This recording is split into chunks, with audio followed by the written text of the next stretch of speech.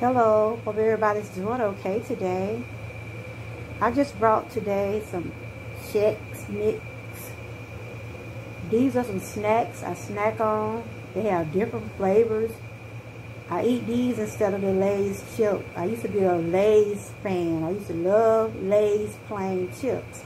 But since I've been on this weight journey, I try to stay within a low calorie diet. Even though these chips, these snacks have 130 calories, but they're less in fat, 4% in sugar.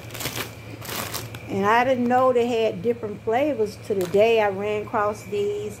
And I decided to pick up a few. They're good to have when you want to watch television, if you want to listen to your favorite song.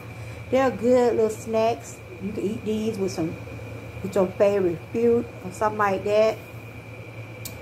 Y'all continue to have a blessed day. Stay encouraged and stay safe.